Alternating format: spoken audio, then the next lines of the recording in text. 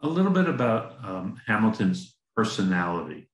Uh, an engaging dinner guest, if you would have him over for uh, for a meal.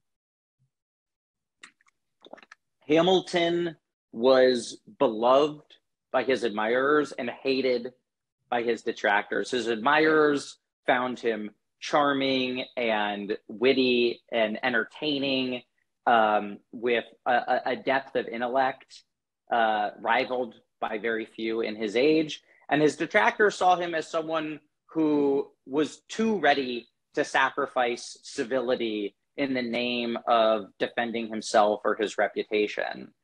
And uh, it's one of the great tragedies uh, of Hamilton's life that when you are that kind of outspoken personality and you do say what's on your mind, and people who agree with you are going to love that, and people who don't are going to hate it, in a world where honor killing is still an accepted practice in many quarters, at some point, uh, that propensity to speak his mind in an unvarnished way was going to catch up to him. And while it's tragic that he dies, unlike the other founders, so much younger than the rest of them because he's felled by Aaron Burr's bullet in this fatal, unfortunate duel. In many ways, it's a miracle he even lived that long because he was nearly in many other duels earlier in his life.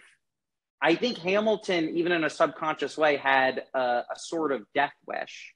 And in the same proportion that Aaron Burr hated him, uh, his admirers loved him and mourned his passing.